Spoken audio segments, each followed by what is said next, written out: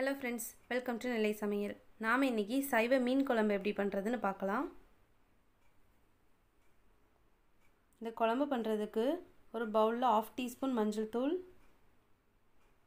Of table spoon மிளகாய் தூள் கொஞ்சமாக சால்ட் சேர்த்துக்கோங்க. கொஞ்சமாக தண்ணி சேர்த்து நல்லா மிக்ஸ் பண்ணி விடுங்க.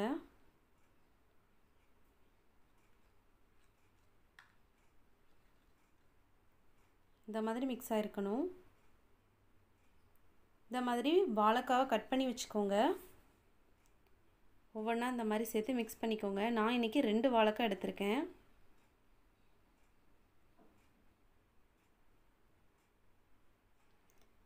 இந்த வாழைக்காலாம் ஒரு பத்து நிமிஷம் அப்படியே ஊற விட்டுருங்க.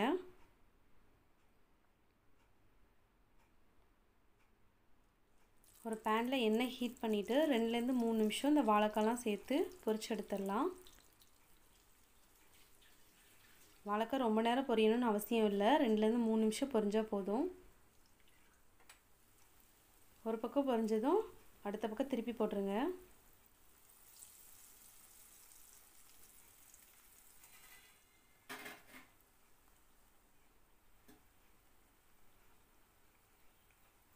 பாருங்கள் வாழைக்காலாம் பொரிஞ்சிருச்சு. இப்போ நம்ம இதை எடுத்து தனியாக வச்சிடலாம்.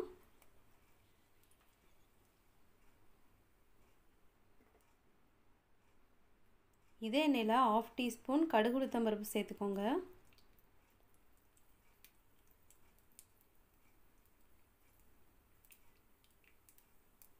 கடுகு பொரிஞ்சதும் கால் டீஸ்பூன் வெந்தயம் சேர்த்துக்கோங்க.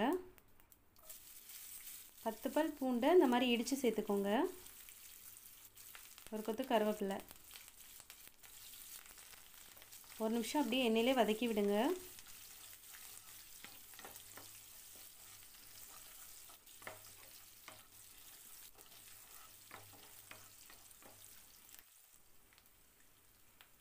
பதினஞ்சு சின்ன வெங்காயத்தை இந்த மாதிரி குட்டி குட்டியாக சாப் பண்ணி சேர்த்துக்கிறேன்.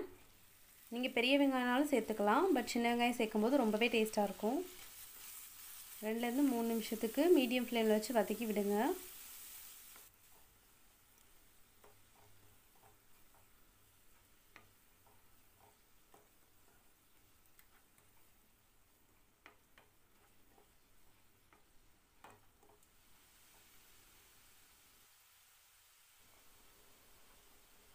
இதோட ரெண்டு தக்காளி அரைச்சி சேர்த்துக்கிறேன்.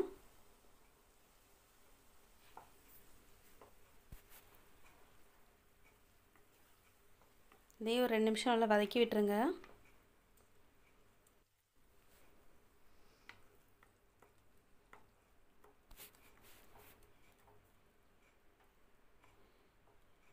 பாருங்கள் வெங்காயம் தக்காளி எல்லாம் நல்லா வதங்கி வந்துடுச்சு இப்போ குழம்புக்கு தேவையான மசாலா சேர்த்துடலாம். ஆஃப் டீஸ்பூன் மஞ்சள் தூள் ஆஃப் டேபிள் ஸ்பூன் மிளகாய்த்தூள் ஒரு டேபிள் ஸ்பூன் மல்லித்தூள். எல்லாம் சேர்த்து நல்லா மிக்ஸ் பண்ணி விட்டுருங்க.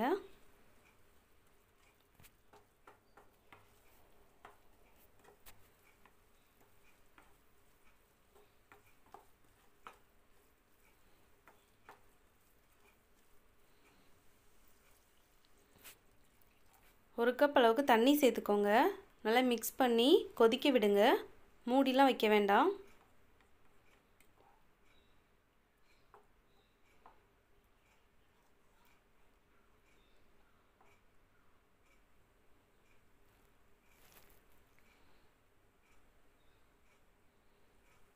பாருங்கள் குழம்பு கொதிக்க ஆரம்பிச்சிருச்சு. இந்த மாதிரி என்னெல்லாம் பிரிஞ்சு வந்ததும் லெமன் சைஸ் புளி எடுத்து தண்ணியில் ஊற வச்சு ஜூஸ் எடுத்து வச்சுருக்கேன். அதையும் இதோட சேர்த்துடுறேன். குழம்புக்கு தேவையான அளவு உப்பு சேர்த்துக்கோங்க. ஒரு மூடி போட்டு அஞ்சு நிமிஷம் லோ ஃப்ளேமில் கொதிக்க விடுங்க.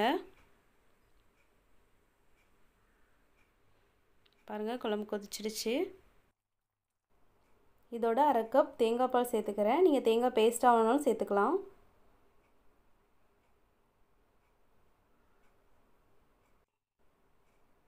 மிக்ஸ் பண்ணி ஒரு மூடி போட்டு அஞ்சு நிமிஷம் கொதிக்க விடுங்க.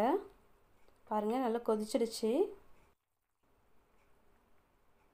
இப்போது நம்ம ரெடி பண்ணி வச்சுருக்க சைவ மீனை இதில் சேர்த்துடலாம் ஒவ்வொரு வாழைக்காவாக சேர்த்துக்கோங்க.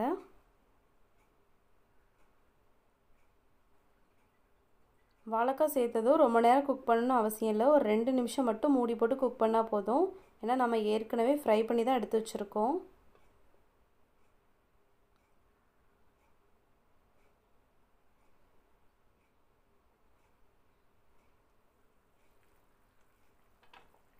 கடைசியாக கொஞ்சமாக மல்லித்தலை சேர்த்துக்கோங்க. அவ்வளோதான் ரொம்பவே சுலபமாக செய்யக்கூடிய சைவ மீன் குழம்பு ரெடி ஆகிடுச்சு இந்த ரெசிபி வீட்டில் ட்ரை பண்ணி பார்த்துட்டு எப்படி இருந்துச்சுன்னு கமெண்ட் செக்ஷனில் சொல்லுங்கள் நெல்லை சமையல் சேனலுக்கு லைக் பண்ணுங்கள் ஷேர் பண்ணுங்கள் அண்ட் சப்ஸ்கிரைப் பண்ணுங்கள் தேங்க்யூ